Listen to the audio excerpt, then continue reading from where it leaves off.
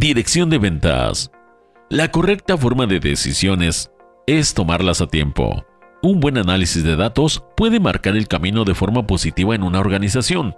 Es así que la responsabilidad del director de ventas es hacer que se cumplan los objetivos previstos a través de las ventas y los esfuerzos locales, y no reemplazando de estos. Esto significa, como el director de ventas debe de crear y mantener un equipo comercial estable, productivo y satisfecho. La dirección de ventas es un proceso dentro del marketing por el que se fijan estrategias para alcanzar objetivos en función de los planes comerciales que tenga la empresa o la marca. Está alineado con el resto de la operación del marketing e implica una gestión que se debe de liderar de un equipo de ventas organizado para lograr la máxima capacidad de los resultados exigidos por los clientes en cada momento. La dirección de ventas es la cabeza visible del departamento comercial y por lo tanto debe de encargarse también de las motivaciones para que todo el conjunto consiga los objetivos fijados en el plan de marketing estratégico.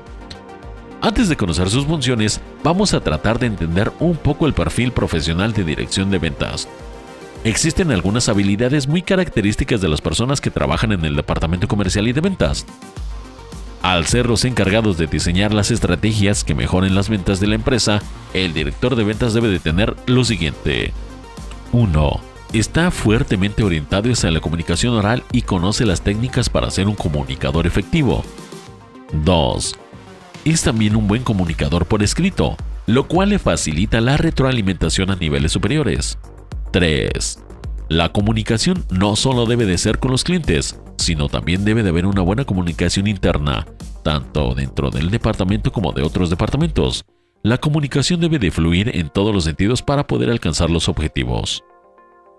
Estos objetivos se deben de plantearse de acuerdo con los datos obtenidos del estudios, previsiones, entre otros. 4. Es bueno escuchando. Puesto que sabe cómo demostrar a sus vendedores que se interesa por lo que tienen que decir, es importante saber escuchar. 5 es organizado. Es consciente de que un buen manejo del tiempo le ayudará a cumplir mejor con sus funciones. 6. Es persuasivo. Sabe cómo vender ideas a su equipo de vendedores. 7. Es un motivador. Es consciente de que la única manera de convencer a las personas es por medio del uso efectivo de las técnicas de motivación. Además, como director del departamento, se debe de contar con el liderazgo suficiente para tener un equipo bien enfocado, trabajando unido para llegar a cumplir esas metas. Así, entonces, empiezan a abrirse más y más responsabilidades para el director de ventas, que, además, al estar en un mundo que cambia constantemente, debe de innovar al crear sus estrategias. Con muchas funciones y responsabilidades a su cargo, es muy fácil que se distraiga de las tareas que no deberían de ser de su competencia, descuidando otras que son muy importantes para el bienestar de la empresa. Ser el director de ventas es una gran responsabilidad que muchas veces no es muy reconocido dentro de las empresas, pero que cuando se da la importancia que merece, demuestran sus creces, su validez y necesidades dentro de la compañía. Para tener en cuenta entonces, estas son algunas de las funciones y responsabilidades de un director de ventas. 1. Diseñar y llevar a cabo las estrategias comerciales y de ventas para obtener mejores resultados de las ventas. 2 Mantener una comunicación activa con los directores de departamentos, como el director de marketing o el director de producto. La comunicación es vital para que todos los departamentos entiendan que se deben de avanzar a iguales velocidades para así llegar más lejos. 3. El área comercial requiere de los recursos humanos excepcionales. Es tarea del director de ventas seleccionar ese personal e integrarlo al equipo del departamento en donde debe de liderar, motivar, velar por un excelente ambiente laboral. Todo esto debe de ir dentro de los recursos humanos, donde se encuentran los representantes comerciales, quienes representan a su vez a la compañía ante los clientes. Por lo que una buena imagen de la organización depende mucho del departamento de ventas. El liderazgo, vaya que es importante. 4. Tener a disposición del equipo de ventas las herramientas y recursos para poder cumplir los objetivos trazados crear los presupuestos y elaborar una previsión de ventas real, alcanzable, medible, además de llevar control sobre esta. 6. Gestionar las grandes cuentas. Como director de ventas, se debe de apoyar en la adquisición de grandes clientes y, por supuesto, en su mantenimiento. En cuanto a los retos que se deben afrontar, debemos de tener en cuenta los siguientes. Los clientes serán siempre más exigentes. Poseerán mayores conocimientos y requerirán que se diseñen mejores estrategias de ventas, más específicas totalmente, hechas a la medida y completamente diferentes a las tradicionales. La competencia será más dura, estará mejor preparada y será capaz de responder a menos tiempo. Además, con una total globalización de los mercados, a la competencia nacional se sumará la internacional.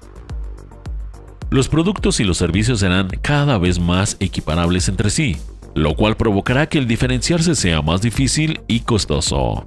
Los vendedores serán en general más caros, en menor número y más difíciles de dirigir y más exigentes ya que estarán más preparados. Los miembros de las fuerzas de ventas son los representantes de la compañía, su honradez, conocimientos y personalidades, así como su eficiencia en el trabajo. Pueden transmitir una buena imagen de compañía, una pésima imagen o simplemente una imagen negativa. A continuación te mostraremos cómo manejar y fortalecer el equipo de ventas. 1. Sea capaz de leer a su equipo. Para identificar las necesidades de su equipo, tiene que ser capaz de saber cómo se está sintiendo. Salude a cada uno de los miembros de su equipo cada mañana y trate de percibir su humor. Si espera que su gente sea sensible con usted, inicie usted ser sensible con ellos. 2. Trate de que sus mejores vendedores no se vayan. Hay que crear un ambiente del que ellos no se quieran ir. Esto significa que tienen que tratarles diferente a un vendedor normal. Usted podría preocuparse de la moral del resto de su equipo, pero la gente generalmente reconoce que la diferencia a un mejor desempeño significa una recompensa diferente. 3. Mantenga una atmósfera positiva. Celebre los éxitos de su equipo y nunca dude en reconocer al que está haciendo un buen trabajo. Ponga mensajes inspiradores alrededor de la oficina y siempre tenga la motivación como la base de su hablar. Una de las condiciones que producen el éxito en las organizaciones, hablando de ventas, es cuando todos trabajan para una misma causa y al ritmo de un solo tambor, y no cuando los vendedores tienen que actuar como estrellas solitarias. Las ideas dan la oportunidad de contribuir con la compañía de otra forma que no sean las ventas. Estas buenas ideas pueden tener grandes aumentos en los ingresos y el ahorro del tiempo, dinero y esfuerzo. Haga que sus vendedores aporten sus ideas, luego recompense a los que hayan traído las ideas que son implementadas. Esperamos que esta nota haya sido de tu agrado, pero sobre todo que te ayude a mejorar tus ventas. Nos vemos en el siguiente video. Adiós.